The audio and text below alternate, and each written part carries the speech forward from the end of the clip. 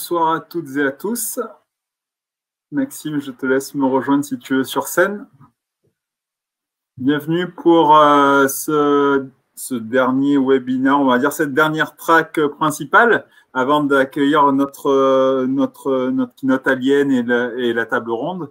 Donc du coup, euh, nous avons le, plaisir d'accueillir euh, Maxime ce soir, euh, une nouvelle fois, parce que ce n'est pas la première fois qu'il donne des conférences à la FUB et on l'en remercie encore une fois pour ça. Il va nous parler aujourd'hui de fenêtrage et autres interfaces graphiques en PHP. Je vous avoue que ça a aiguisé pas mal notre curiosité lors de la sélection du CFP et je vois que, vu le nombre de personnes qui se joignent à nous petit à petit, nous ne sommes pas les seules personnes curieuses. Bah, du coup, Maxime, je te laisse la parole. Alors, je vais partager tout ça. Euh, donc, euh, je vais rectifier quelque chose pour tout de suite dire qu'on me met une pression euh, assez importante. C'est ma première présentation au forum PHP. et du coup, j'apprends qu'il y a du monde dans la salle. Merci pour le petit coup de pression. J'avais pas l'info. bienvenue à tous. on va parler de trucs un peu rigolos avec PHP qu'on n'a pas l'habitude de faire. Je me présente, je, m'appelle Maxime. Euh, je suis développeur PHP chez Wishiban et j'insiste bien sur le petit côté PHP parce qu'en fait, je vais pas mal vous parler de C, mais sachez que mon expérience en C est assez limitée. Euh, je m'occupe pas mal de l'AFSI. L'AFSI, c'est l'Association française des utilisateurs de Symfony. Euh, qu'est-ce que je fais pour l'AFSI habituellement? En fait, je vais être principalement la personne qui va organiser les événements. Euh, mais ce n'est pas une, association qui fonctionne uniquement par mois, c'est une association qui fonctionne euh, avec tous ses membres. Donc euh, chacun aide, il y a beaucoup de membres qui ont aidé à la participation de plein d'événements. et à ce titre, bah, si jamais ça vous intéresse de participer à une telle association, bah, n'hésitez pas, d'autant plus que c'est vrai que l'association est un peu morte par ces temps de Covid, puisqu'on existait principalement via les événements. Donc, si certains d'entre vous se sentent motivés pour organiser des événements virtuels, par exemple, euh, ça peut être une bonne idée. Voilà, donc ça, c'était le petit instant promo AFSI.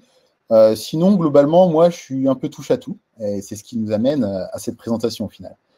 vous pouvez me suivre sur Twitter, bien sûr, vous pouvez aller voir ce que je fais sur GitHub.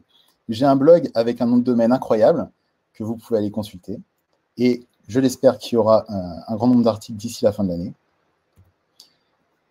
Je fais une petite promo de moi-même finalement. Euh, j'ai développé une petite librairie qui s'appelle Melodia. Euh, j'ai écrit euh, assez récemment tout l'ensemble de documentation qui permet d'utiliser. C'est assez simple, c'est basé sur Symfony, des composants différents d'API Platform, ça fonctionne de manière différente d'API Platform. c'est plus simple, mais ça permet de faire des, choses tout à fait correctes et surtout complètes. Enfin, il n'y a, pas, de, de, manquement dans cette histoire. donc si vous voulez jeter un œil, n'hésitez pas. Et également, euh, je dois vous parler de Gangball. Gangball, qui est un jeu vidéo que je, développe avec des amis sur mon temps personnel. C'est un jeu vidéo temps réel qui est assez sympathique. Voilà, il est hébergé sur gangball.com. On espère euh, sortir des nouvelles versions dans le futur, mais pour l'instant, il est déjà jouable. Sinon, pour vous parler euh, un petit peu plus de, de, ce que je peux faire voilà, en open source, notamment, j'ai écrit une librairie de WebSocket pour PHP, qui est basée sur React PHP j'ai une petite librairie d'outils qui peut vous aider au quotidien, donc ça peut valoir le coup aussi d'aller jeter un œil.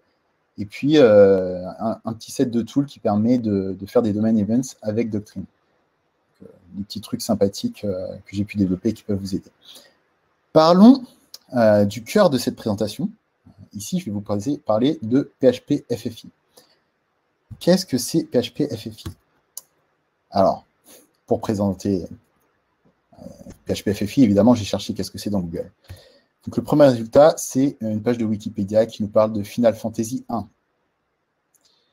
Ok, euh, ça va être compliqué. Très bien. Euh, donc, en fait, ce qu'il faut chercher, on comprend assez rapidement, c'est libFFI.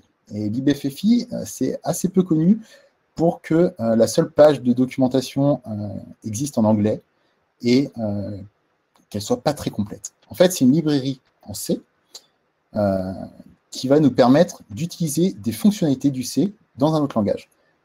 comme ça, ça a l'air assez vague, mais en fait, euh, c'est euh, une, extension du coup PHP qui va utiliser cette librairie FFI, et c'est cette extension qu'on va pouvoir utiliser pour, pour, faire, pour exécuter les fonctions C. cette extension est disponible depuis PHP 7.4 et elle va nous permettre d'utiliser des librairies notamment en C, mais en réalité, ça va nous permettre de faire un peu plus que ça, puisque ça nous permet d'exécuter des, fonctions d'autres langages. On, va, on, le verra plus tard, on en reparlera. Euh, dans quel but? Bah, Tout simplement parce que, on le sait, euh, le, C, tout simplement, c'est plus rapide que PHP.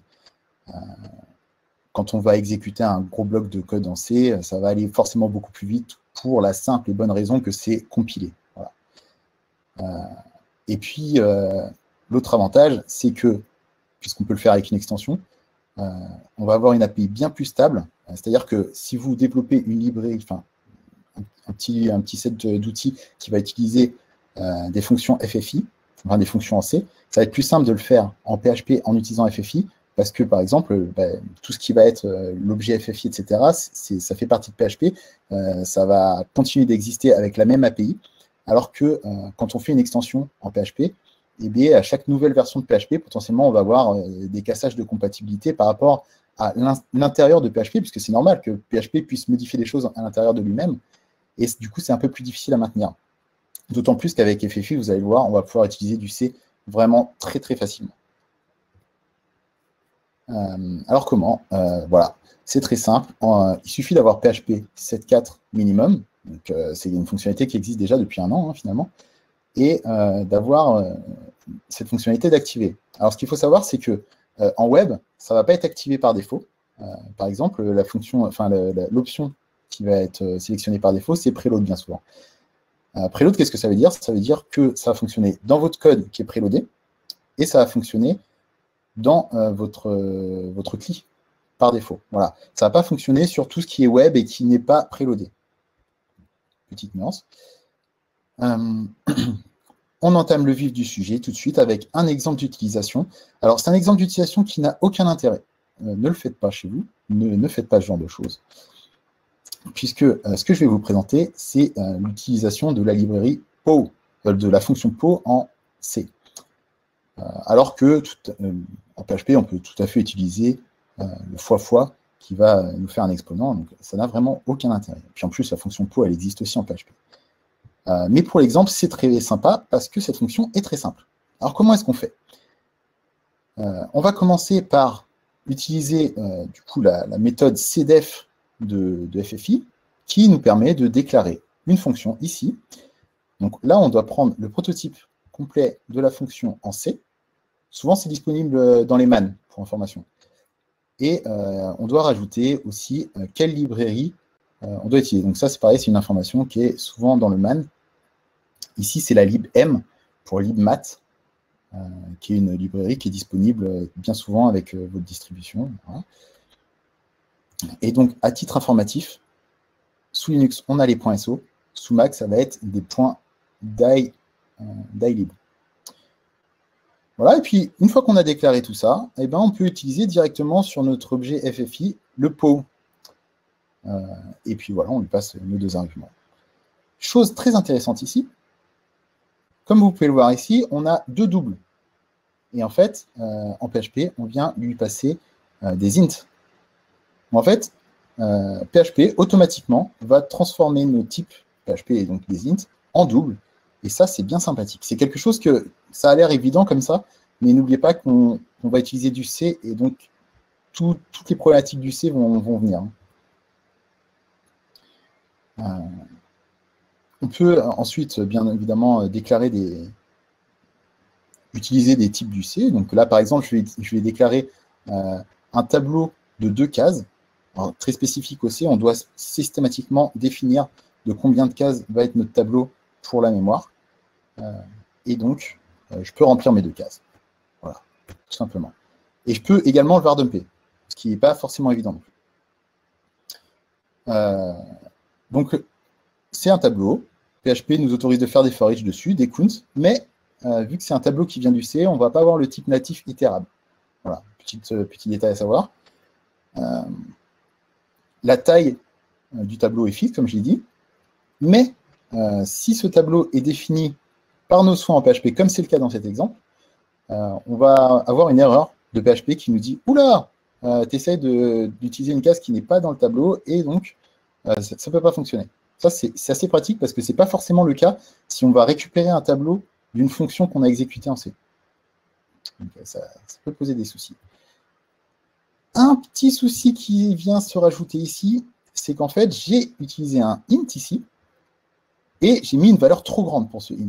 J'ai dépassé euh, la valeur du int, ça a fait un buffer overflow, et je me retrouve avec un nombre négatif qui n'a plus rien à voir.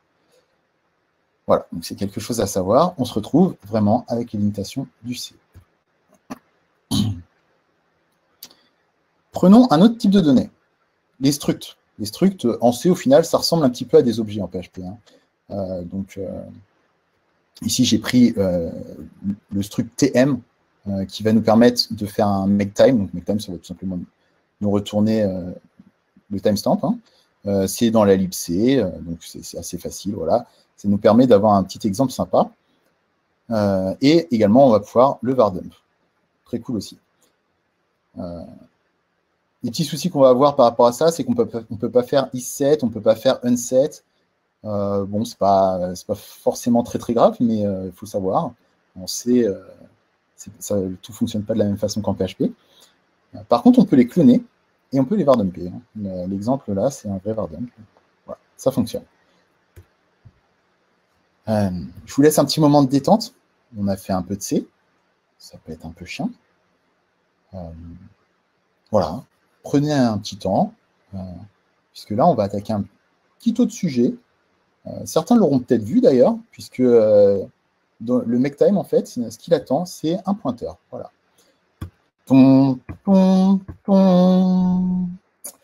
Le voilà, notre pointeur. Alors, comment est-ce qu'on va utiliser ça? Eh bien, étonnamment, ça va être euh, très simple de base. Hein. Euh, il suffit d'utiliser la fonction add, euh, la fonction add qui nous retourne le pointeur. Hop, on l'envoie au makeTime et boum, ça fonctionne. Tout a l'air simple, dans le meilleur du monde, et c'est en partie avec ce petit paramètre. Ici, je l'ai spécifié, mais il faut savoir que sa valeur est par défaut true. ce petit paramètre dit la structure que tu vas créer, elle est gérée par PHP en mémoire. Elle est gérée par FFI. Qu'est-ce que ça veut dire? Ça veut dire que quand j'ai terminé mon, ma fonction, mon code, peu importe, PHP, euh, le garbage collector, va récupérer cette variable et euh, effacer la mémoire. C'est très bien, mais ça ne fonctionne pas tout le temps de cette façon. Parce qu'en fait, dans la réalité, on va souvent euh, avoir besoin de, de set cette valeur à false. Et, et donc, malheureusement, il va falloir gérer la mémoire nous-mêmes. Mais on a une fonction qui va nous permettre de gérer la mémoire, ici, avec free, Petit détail, ce code ne fonctionne pas. Ce code ne fonctionne pas tout simplement parce que euh, on a besoin de, la vraie, valeur. Donc, on a besoin du thème original. On pas avec le pointeur, ça ne fonctionnera pas. Euh, bien qu'en C, on ait l'habitude de faire avec le pointeur, là, en PHP, il va falloir qu'on utilise la vraie valeur. Si, on le fait, ça fait une fatale erreur de toute façon. Et pour le coup, euh, cette erreur ne va pas forcément poser problème parce qu'elle est assez évidente. Maintenant, on a d'autres problèmes. Euh, les, valeurs qui sont retournées par les fonctions appelées en C, comme je disais tout à l'heure, en fait, potentiellement, c'est des tableaux, ça va être des pointeurs, et tout ça, ce n'est pas managé par PHP. Donc, ça veut dire qu'il va falloir systématiquement conclure notre mémoire nous-mêmes. Je vous donne un exemple tout de suite. Euh, ça, c'est la fonction globe en C. Donc, évidemment, on a la fonction globe en PHP, donc c'est une, nouvelle fois un peu inutile. Mais euh, si on définit je vous passe la définition de globe qui est un peu plus longue que, précédemment. Euh, si on fait un, nouveau résultat de globe, on passe ce résultat, ou plutôt le pointeur en fait, vers, euh, notre structure à globe. Globe va, faire son travail, donc il va chercher dans les dossiers euh, tout ce qu'il faut, et il va enregistrer ce résultat dans sa structure qu'on lui a passé en paramètre. en fait, il ne va pas retourner directement le résultat, il va retourner dans euh, le, paramètre qu'on lui a donné.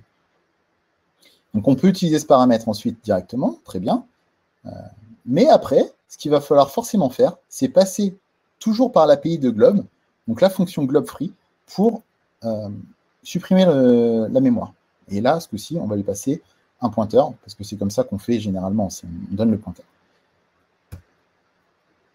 Maintenant, j'attire votre attention une nouvelle fois sur cette slide. Là, je suis en train de vous dire qu'on fait des trucs en C. Et en même temps, je vous dis, il y a des trucs qu'on ne peut pas faire. Je ne sais pas vous, mais moi, ça me perturbe. Je me dis, là, je peux tout faire. Je fais du C. Euh, du coup, ça ne m'a pas plu de ne pas pouvoir faire ça. Alors, je me suis dit, bah, en C, c'est facile à faire. Donc, du coup, je vais pouvoir utiliser la fonction de C pour free mon pointeur. Mais pour ça, j'avais besoin de développer ma propre librairie. Donc, je vais vous montrer comment on développe une librairie en C qui fonctionne avec PHP FFI. Et c'est assez simple, en fait. Voici le code de ma lib complet. Donc, vraiment, euh, j'utilise la fonction free directement pour free euh, le pointeur que je vais prendre en paramètre. Euh, le point H, très simple, hein, j'écris ma définition, voilà. Ensuite, je vais compiler. Voilà, ça, c'est toute ma, toute ma structure. Donc, j'ai mon dossier inclus avec mes points H, mon dossier SRC avec mes sources. Donc, vu que c'est un peu fait à l'arrache, on a le fichier compilé qui va se retrouver dans SRC. Mais euh, évidemment, dans un vrai projet, on va éviter de faire ça. Et un makefile. Et le makefile, le voici. Euh, les principales choses à retenir ici, ça va être euh, l'option fpic qu'on va retrouver en double. Et surtout, surtout, surtout, cette option, shared qui va nous permettre de générer les points SO. Les points SO, c'est ce qu'on utilise avec, FFI pour exécuter du code externe. et donc, tout ça, là, ça a l'air un peu compliqué, mais en fait, c'est tout simplement un, système de versionning. Hein. On, sait quand on, quand on fait une, librairie shared, ce qu'on va faire, c'est qu'on va faire point 1 pour la version euh, principale, évidemment, et puis euh, pour les versions mineures, point 1.0, point 1.1, etc. Et tout ça, c'est géré avec des liens symboliques et l'aide du petit outil euh, ldconfig. Voilà. Donc là, vous avez l'intégralité du truc et ça nous génère un point .so qu'on va être en capacité d'utiliser avec PHP FFI. Utilisation du coup de cette librairie. Comme tout à l'heure, je mets ma petite définition. Ensuite, euh, je lui mets, ce coup-ci, attention, je lui mets vraiment le pass vers euh, le point SO pour qu'il le retrouve. Et ensuite, j'appelle mon pointeur, euh, mon free my pointer. Donc très bien, j'espère que tout va bien se passer et que mon pointeur va être supprimé de la mémoire. Pas du tout, ça ne fonctionne pas. C'est un peu dommage. J'ai bien mon, timestamp qui est affiché, mais j'ai pas du tout la suppression du pointeur, ça, ça, ça carrément. Ça marche pas du tout. Bon, écoutez, il euh, n'y a rien qui fonctionne, mais vous voyez le bon côté des choses. On sait maintenant créer une librairie qui va fonctionner avec FFI. Bon, euh, là, je vous ai donné un exemple qui ne marche pas, euh, parce que c'est plus rigolo, et puis parce que la tentative était belle, mais sachez quand même que c'est la bonne méthode. Hein. Ça, fonctionne avec n'importe quel autre code C qui va, que vous voulez utiliser pour FFI. Maintenant, je vais vous demander d'ouvrir un petit peu vos chakras. Euh, on va aller vers des choses un peu plus bizarres. Puisqu'on a FFI, on est en capacité d'utiliser n'importe quel lib qui est codé en C. Et dans les libres codés en C, par exemple, il y a GTK. GTK, c'est quoi? C'est une librairie qui permet de créer des fenêtres. Donc, euh, qu'est-ce qu'utilise GTK Par exemple, il y a GNOME. GNOME, c'est euh, l'environnement graphique d'Ubuntu et de plein d'autres distributions au passage. GNOME est basé sur GTK. Donc, c'est pour vous donner un peu euh, la, puissance de, GTK. vraiment, ça, nous donne accès à beaucoup de choses. ce qu'on peut citer, par exemple, c'est GIMP, hein, très rapidement, qui est développé avec GTK. Mais il y a beaucoup, beaucoup d'autres outils. Hein. La plupart des outils, d'ailleurs, que vous pouvez avoir par défaut sur, euh, sur Ubuntu, ça va être GTK. Donc, euh, on a vraiment pas mal de choses. Comment on installe GTK GTK, c'est très simple. Euh, alors, souvent par défaut, naturellement, ça va être installé sur Ubuntu. mais en fait, là, ce, dont on va avoir besoin, c'est la partie dev. Donc, on va être obligé d'installer le paquet "-dev". Sur Mac, on installe GTK euh, plus 3, et ça va venir avec tout ce qu'il faut. Très simple, euh, sous Linux, on utilise ça. Sous Mac, je pense qu'il va falloir lui donner la localisation précise, par contre, euh, du DAE, enfin c'est DYLib, hein, hein, et, et, ça va fonctionner. Par contre, évidemment, vu que c'est une grosse lib, on va avoir un petit peu plus de travail sur les définitions de tout ce dont on a besoin. Alors, ce n'est pas forcément ce dont on a besoin d'ailleurs, parce que PHP va être capable de faire des bindings mais bon, voilà, on va utiliser des fonctions qui ont des types, et ces types contiennent des choses, et ces choses contiennent des choses, et, ainsi de suite. Et du coup, on se retrouve avec pas mal de choses. Mais en réalité, il n'y a pas forcément beaucoup de fonctions qui sont définies dans ce fichier. Et voilà comment on fait une fenêtre en PHP. Euh, ici, ce code-là, vraiment, euh, est en capacité de générer cette fenêtre.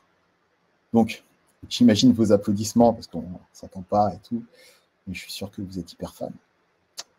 Alors, si on décortique un petit peu ce qui se passe, hein, c'est extrêmement simple. Euh, on fait une nouvelle fenêtre, hop, on lui met un label, on fait un container, on met le bouton dans le container, hop, on ajoute le title à la fenêtre, et bam, on lance euh, GTK main. Et la fenêtre apparaît. Et ça, c'est très bien. Ça, c'est un screen sous Linux d'une fenêtre GTK. Ça fonctionne très bien. Maintenant, il faut savoir qu'il existe une lib que je n'ai pas testée, euh, accessoirement, mais j'ai vu qu'il fournissait les, bindings, euh, les fameux H, avec un peu plus de choses que ce que moi j'avais. C'était un peu homemade, on va dire, hein. même si, bon, c'est assez simple au final, on va chercher dans la librairie qu'on veut utiliser, on récupère les points H et puis on copie plus ou moins tout ce qu'on veut utiliser. Et voilà, ça fonctionne. Bon, bah là, le travail est déjà fait dans cette librairie, ils ont déjà récupéré beaucoup de choses. Ça peut valoir le coup d'être utilisé. Et si on ne s'arrêtait pas là? Et si on faisait encore plus? Vous l'avez deviné, il reste un peu de temps de conférence. On va aller chercher plus loin. En fait, il existe une librairie euh, qui s'appelle SDL, qui est codée aussi en C. Alors, les fenêtres qu'on peut faire avec SDL, c'est un peu plus basique que, euh, que, GTK, mais par contre, on peut faire plus de choses. On va, être amené à dessiner dedans vraiment, et c'est un peu plus rigolo du coup. Donc, je vous présente euh, Seraphim Arts, euh, aka Kirill Nesmeyanov. C'est un garçon qui habite à Moscou et, ma foi, qui fait des choses très intéressantes. Des choses qui peuvent vous intéresser peut-être. Hein. donc GraphQL, PHP fonctionnel.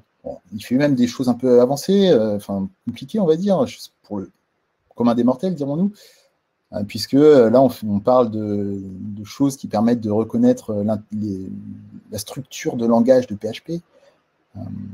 on a du PHP JSON 5, très intéressant JSON 5, hein, si vous y intéressez. Et puis, on a des trucs un peu plus exotiques, de type PHP Go Framework, euh, j'ai regardé, hein, c'est extrêmement sérieux. Hein. On est sur quelque chose euh, qui est censé être extrêmement performant, euh, combinaison des deux. Bon, il fait des choses un peu bizarres aussi, quoi. Puis il fait des choses complètement inutiles, mais qui vont beaucoup nous intéresser aujourd'hui. il a fait les deux librairies FFI Loader et FFI Developer, qui sont en fait des librairies de base, une sorte de socle qui va nous permettre de développer d'autres librairies pour FFI par-dessus. IDE Helper, en fait, ça, permet tout simplement d'activer de, l'autocomplétion sur, euh, sur PHP Storm et puis de manière générale euh, les IDE ou, les, éditeurs de code que vous pouvez avoir. Et euh, FFI Loader, ça, ça nous permet d'avoir une structure un peu plus sympa pour charger les, librairies. Hein. Par exemple, lui, il a développé FFI SDL. Bon, bah, on va arriver dans sa, dans sa librairie, on va faire New SDL. Au lieu de faire euh, toutes les choses que j'ai pu vous montrer précédemment avec FFI. Euh, voilà, il a codé aussi euh, plusieurs librairies autour de SDL, donc ça, ça, va nous arranger pour pouvoir faire des petits tests. Et il a aussi développé des petites librairies donc, autour d'OpenGL et de Vulkan. Alors, OpenGL, c'est une librairie qui est bien connue, qui, permet de, développer des jeux vidéo en 3D, etc. Enfin, des jeux vidéo et plein d'autres choses, en fait, tout ce qui est imagerie 3D au final. Euh, et, Vulcan, bah, c'est ni plus ni moins que son évolution. Hein. Euh, puisque Vulcan, bah, son nom d'origine, c'était OpenGL Next. Ça vous donne un peu une idée de ce qui se passe. Donc, euh, on a tous les éléments pour coder des trucs très rigolos, au final. et du coup, c'est ce qu'il a fait, une petite démo qui fonctionne avec OpenGL et un, un petit moteur codé en PHP. Je vous laisse regarder. Donc, il nous montre tout de suite c'est bien euh, du PHP pour, pour prouver qu'il ne ment pas. Et très rapidement, voilà, il va lancer sa démo. Et donc j'ai testé tout ça. Voilà, because I can. Hein. C'est vraiment euh, au top de l'inutile. Mais, euh, mais voilà, tout ça, ça fonctionne en fait. Bon, alors, c'est pas, c'est pas foufou, mais on a quand même toute une liste de, de sprites qui s'affichent. Et puis, on peut naviguer un peu dedans. quoi. Et tout ça, c'est codé en PHP. Donc, c'est bien rigolo et on se dit on peut faire des choses sympas avec, quand même. Du coup, évidemment, qu'est-ce que je me suis dit? Je vais coder Gangball en PHP. Évidemment. Donc, je me suis lancé dans le, code de Gangball et euh, je vais vous montrer ce que ça donne. Hein. Euh, concrètement, euh, voilà, j'ai fait mon petit objet game, j'ai fait ma classe viewport, j'ajoute mes, textures. J'ai une loupe infinie pour conserver la fenêtre. Hein. un loupe infini, il faut le dire vite, puisque évidemment, si jamais je throw une stop exception, ça va m'arrêter ma loupe. Et, voyons voir ce que dit la classe viewport. Alors, euh, comme je vous le disais, le travail de Seraphim Art euh, porte ses fruits, hein, puisqu'on a des objets, window pointer, event, euh, renderer pointer. Ça, c'est des trucs de la libsdl à la base. Et lui, voilà, il a créé des petites classes dans sa lib qui viennent simplifier le travail du développeur qui va utiliser PHP FFI pour SDL. Donc moi, je l'ai utilisé hein, directement. J'ai créé ma window. Hop, on a même une intégration, euh, ça c'est natif, hein, c'est que SDL, voilà, ça fonctionne avec OpenGL. Donc euh, c'est intégré, tout ça. Et euh, voilà, donc à chaque tour de boucle, qu'est-ce que je fais? J'affiche toutes mes textures, etc., etc. Alors, petite chose importante, je vous en avais parlé, on doit gérer la mémoire. Pour gérer la mémoire, qu'est-ce qu'on fait? Bah là, voilà, sur toutes les textures, à chaque fois, je vais les terminer. Et dans le terminer des textures, en réalité, ce que je fais, c'est que je clear euh, les pointers euh, qui sont liés aux textures. Et ensuite, je fais un destroy window euh, pour clear aussi la RAM de la window. Et à la fin, SDL quit pour clear la RAM de SDL. bien que normalement le, process PHP va se terminer, donc il aurait pu avoir à se soucier de la mémoire, mais autant le faire, c'est les bonnes pratiques. Alors qu'est-ce que ça donne? On a envie de savoir. Qu'est-ce que ça donne tout ça?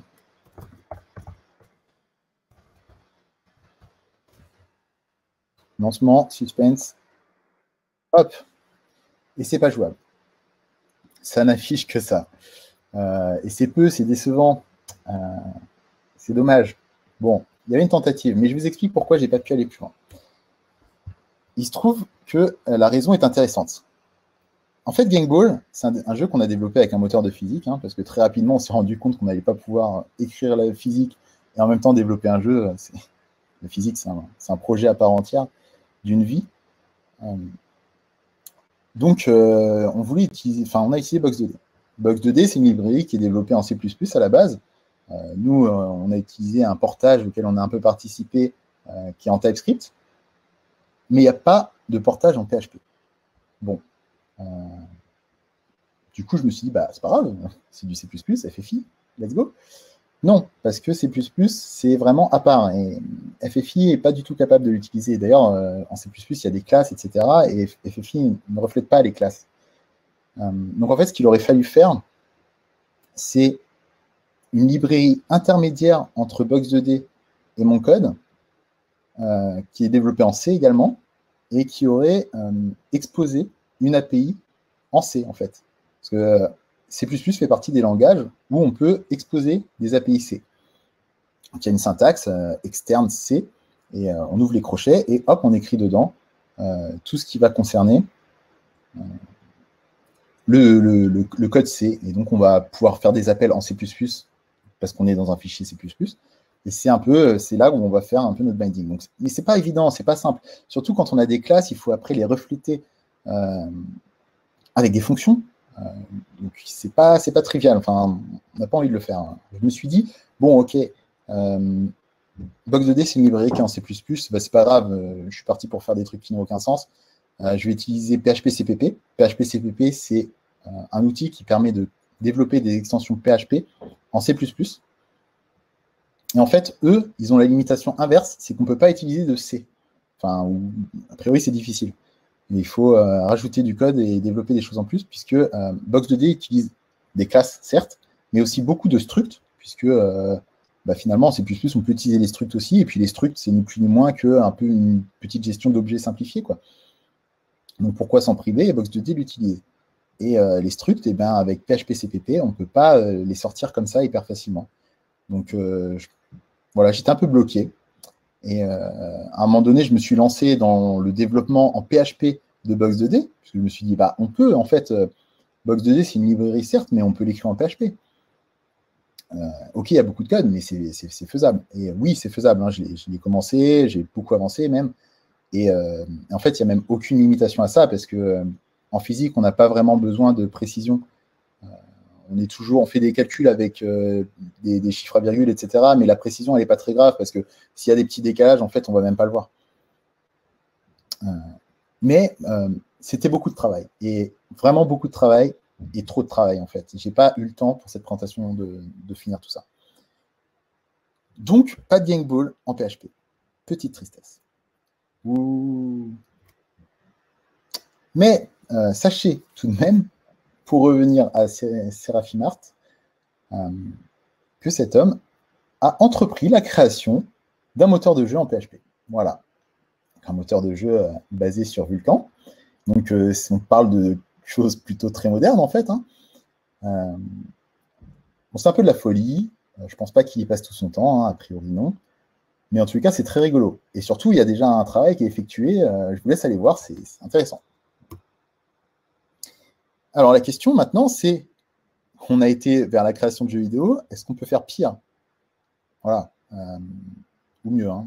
Enfin, bref, vous avez compris. Et la réponse, je pense que c'est oui, parce qu'il y a d'autres librairies hein, qui sont développées euh, en C, et notamment il y a LibRetro. LibRetro, c'est quelque chose qui permet euh, de créer des émulateurs, principalement. Donc, bah, ni une ni deux, je m'y suis mis. Et euh, je vous montre ça tout de suite.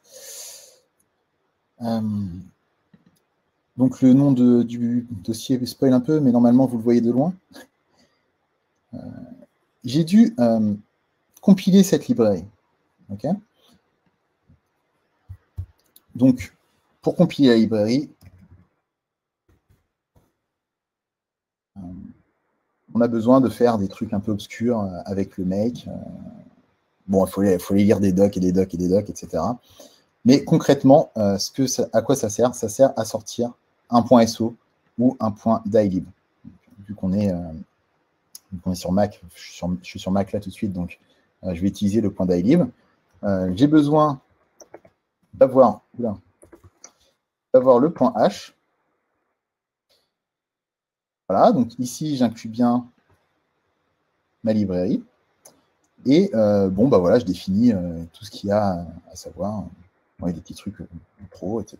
C'est un peu une sorte de work in progress, hein, mais c'était un petit test. Et quand je lance, qu'est-ce que ça fait? Et eh bien voilà, j'ai Pokémon qui se lance en PHP. Et ça, c'est drôle. Moi, je trouve ça très très drôle. Bon, alors, vous pouvez le constater, euh, a priori, je ne suis pas au top sur la résolution. Euh, vous allez voir, ça dépasse un peu. Bon, ça s'améliore. Hein. C'était juste pour rigoler un petit coup. Je sais même plus quelles sont les touches. je ne sais même plus quelles sont les touches. c'est pas grave, importe. En tous les cas, ça fonctionne et c'est drôle. Si on regarde un petit peu le code, eh ben, c'est pas très compliqué au final. Euh, je récupère euh, les options du clavier avec SDL, puisque ça fonctionne avec SDL. On crée la petite fenêtre SDL. Hop. Et et puis après, on, va instancier notre, notre libretro, ni plus ni moins. Alors, libretro, ça s'instancie euh, de cette façon. Il y a plein de trucs. Évidemment, tout ce qui va être. Euh, voilà, ça ne sert à rien pour nous. Hein. on a le mapping du, keyboard qui est, fait ici. bon, ça, c'est simple. Hein. Et puis après, on a évidemment, tout à la fin, notre boucle qui permet d'afficher la fenêtre. Donc rendons à César ce qui est à César. Euh, tout ce travail, c'est euh, une idée originale euh, de Gabriel Rodriguez Couteau, qui est, un Brésilien, et qui lui l'a fait en commande, en, en CLI. Donc je ne sais pas si c'est pire ou si c'est mieux. Enfin, en tous les cas, voilà, on est tous les deux sur des trucs un peu bizarres. toujours est-il que c'est très amusant de voir qu'on peut faire ça avec PHP. Je ne sais pas ce que vous en pensez, mais c'est ce que j'en pense. Maintenant, parlons un peu des limitations. PHP FFI, c'est lent. c'est même en fait assez lent, assez lent pour être un, vrai facteur bloquant. Par exemple, si vous avez une petite fonction comme PO, par exemple, l'exemple que j'ai donné tout à l'heure, vous n'allez pas utiliser PHP Ça n'a aucun intérêt. Euh, l'appel de la fonction, la transition euh, vers le C va être plus lent en fait que l'exécution elle-même de la fonction, mais dans PHP. Si vous avez euh, le même code en PHP, ça va aller plus vite. L'exemple a été donné d'ailleurs par Code. Je crois qu'ils ont même fait des benchmarks. Hein, si vous voulez aller voir ça, ils, ont dû écrire un article à ce sujet. Il y a même un dépôt GitHub. Ils ont utilisé UID, la fonction UID en C via FFI, et c'est lent. Il n'y a pas d'intérêt à faire ça parce que générer un, UID, en fait, c'est quelque chose qui est assez rapide. Et euh, bon, éventuellement dans une extension, hein, l'extension UID pour PHP, oui, elle fait sens hein, parce que là, on a un appel direct qui s'est compilé avec PHP. FFI limité au C. je vous ai dit l'inverse tout à l'heure. Et en fait, euh, c'est un peu vrai dans le sens où euh, les externes C, c'est compliqué. En vrai, c'est. et d'ailleurs, encore une fois, Joli Code a fait l'exemple avec du Rust. Euh, sur la fonction UUID. Euh, et il y a plus de code pour faire le externe que de code pour faire le UUID. Donc, euh, c'est voilà, on est sur ce, genre de choses. Hein. C'est compliqué et franchement, pas forcément nécessaire. Après, c'est un peu dommage dans le sens où, bah, par exemple, en C++, on a Qt.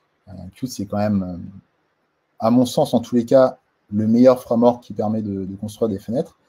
Euh, et, bon, bah, malheureusement, on n'y a pas accès parce qu'il est développé en C++. GTK et GPL V2. Euh, petit détail, GTK, euh, c'est très, cool, je vous l'ai montré tout à l'heure. Maintenant, c'est une licence GPL V2. Alors, peut-être certains diront, bah, c'est pas très grave. Moi, j'ai regardé vite fait sur Internet et j'ai eu l'impression qu'il fallait qu'on développe un projet open source pour pouvoir utiliser GTK. Il fallait en tous les cas que le code final soit open source. Alors, je ne connais pas les tenants et aboutissants. Euh, il y a beaucoup de sources qui se contredisent. Je ne suis pas un expert juridique.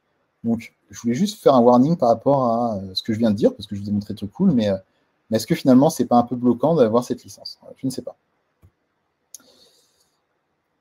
Très bien. Je ne peux pas charger cette slide. si ça va aller. Euh, eh bien, écoutez, merci. Merci de m'avoir écouté. Euh, si vous avez des questions, n'hésitez pas. Il nous reste un petit peu de temps. C'est fait pour. Euh, et puis, si vous voulez euh, me suivre sur Twitter, voilà, vous avez tous les liens. Et naturellement, n'hésitez pas à mettre un petit retour sur Joindin. C'est d'autant plus important que bah, je ne vous vois pas en fait en temps réel. Donc, je ne sais pas quelles ont été vos réactions ou non-réactions. Donc, pour moi, c'est important d'avoir du feedback, d'autant plus sur ce coup-là. Voilà. Merci beaucoup. Merci à toi, Maxime, surtout. Euh, c'était vraiment, enfin, je ça très intéressant pour ma part. En tout cas, on a quelques questions, mais on a deux minutes, donc on va en prendre une, celle qui a le plus de votes.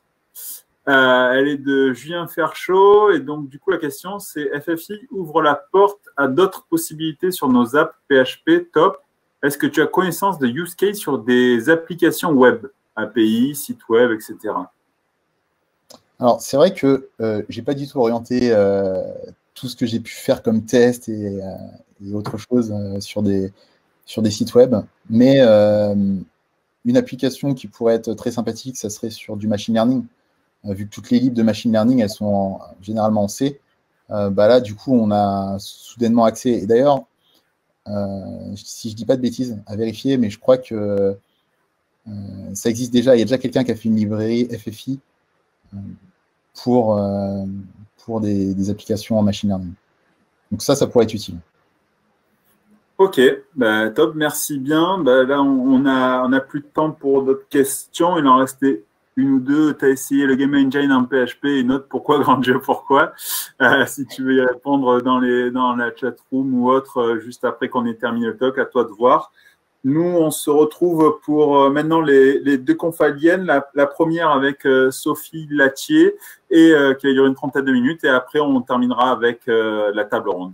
Voilà. Comme l'a dit Maxime, surtout, n'hésitez pas à le contacter si vous avez des questions. Surtout, lui faire des feedbacks sur le Join Vous avez le lien dans la chat room. Vous aurez aussi le lien sur Twitter. Donc, go, go, retour. Voilà. Encore merci beaucoup, Maxime. À bientôt. À bientôt. Bon, je crois que j'ai encore la room. Je vais pouvoir répondre à quelques questions. Pourquoi, grand Dieu, pourquoi? Ben, Parce qu'on peut. Parce du coup, c'est rigolo, tout simplement. Hein. Est-ce que j'ai essayé le Game Engine en PHP euh, bah, En fait, j'ai buildé juste euh, le, POC qu'il avait fait euh, et, ça fonctionnait.